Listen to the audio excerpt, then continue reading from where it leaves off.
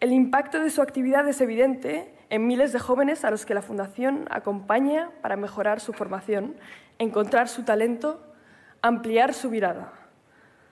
Con apoyos reales y atención a la educación y salud mental, con propósito, con la utilidad demostrada.